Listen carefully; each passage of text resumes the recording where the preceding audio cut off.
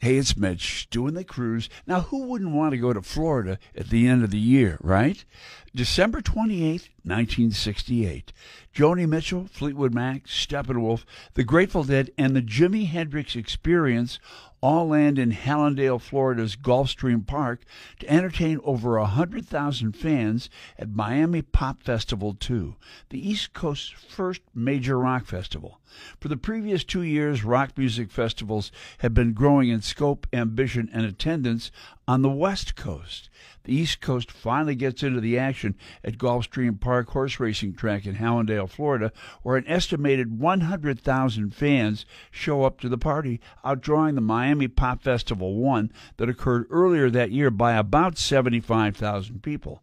Miami Pop 2 features a flower stage and a flying stage, each operating simultaneously. It's the first major musical event known to employ this dual stage innovation. Fans arrived to find the grounds decorated with an assortment of giant sculptures, including an overturned milk carton and a giant blue humanoid, crafted by the University of Miami's art department. A commemorative comic book featuring several of the headlining musicians is also distributed at the event. Pacific Gas and Electric, who will achieve their most commercially successful hit, Are You Ready? two years later, liquefies minds with their performances, harnessing so much power they are asked to play four separate times.